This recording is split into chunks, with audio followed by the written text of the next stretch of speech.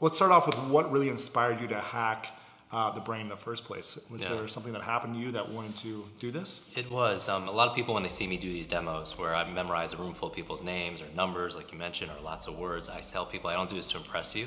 I do this more to really express to you what's really possible, because anyone could do this. Because we've been we've been told we've been told a lie that our memory, our intelligence, our genius is fixed, kind of like our shoe size. And through my experience of doing this for the past two decades, nothing could be furthest from the truth. You know, people have unbelievable gifts inside them. They're just not shown how. I always thought it was interesting that school would teach us like what to learn, like those subjects that are important, math and history and science and Spanish, the what to learn, but not never on how to learn. You know, how to focus, how to concentrate, how to be creative, how to think for yourself, how to read faster, how to how to remember things. Right. Maybe it should have been the fourth R. Remember reading, writing, arithmetic, Uh-huh. but also recall, because there is no learning without remembering, and Socrates said that.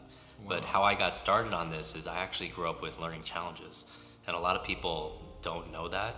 But when I was uh, in kindergarten, I had a really bad accident and I had a head injury, and it left me feeling like I was broken, that my brain didn't work, and I had these focus issues. I couldn't remember things, and it took me extra two years to learn how to read, and I struggled, you know, privately and then also publicly. And uh, you know, when you're that age, you you know you get very self-conscious. Sure. You know, you become very introverted, very shy. You don't want to connect with people because you feel like there's something wrong with you.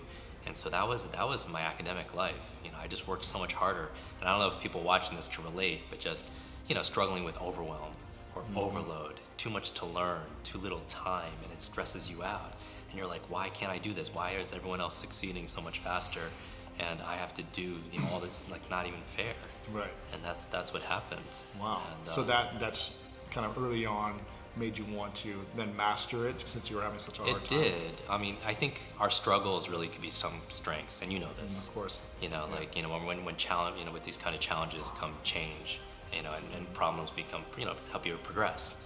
And so when I got to college, I remember first freshman year in college, I wanted to start fresh, and I thought that I could really make my family proud because they sacrificed a lot.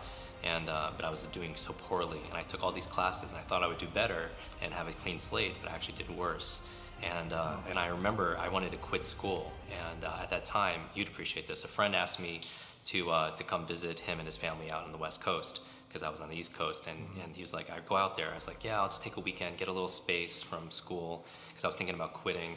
And when I get there, the family is um, extremely successful. And I don't just mean financial. They had an amazing home on the, on the water, but they were happy.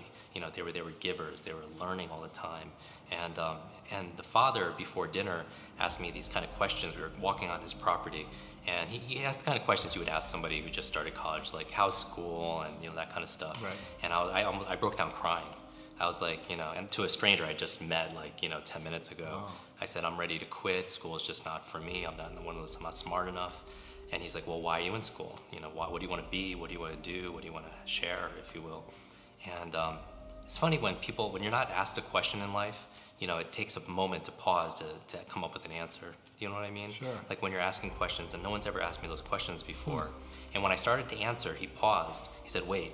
And he takes out out of his back pocket, I swear to you, like a journal and like a diary. And I always thought like 12 year old girls carry diaries Sure, and wrote yeah. diaries.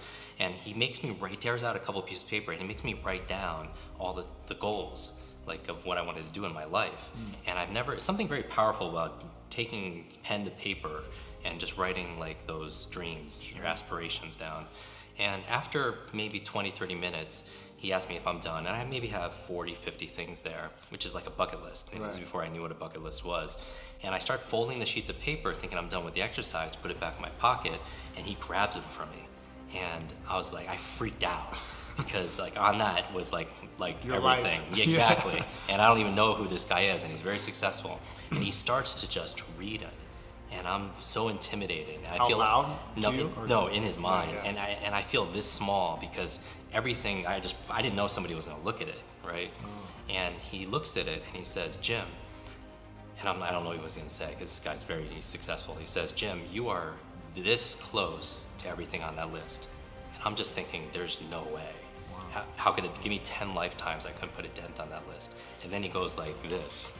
Ooh. Yeah, and he says like like as if this was you know the key here, and he takes me into his home, and it's uh, this beautiful home. He takes me into a room I've never seen before, and it's wall to wall, ceiling to floor, covered in books.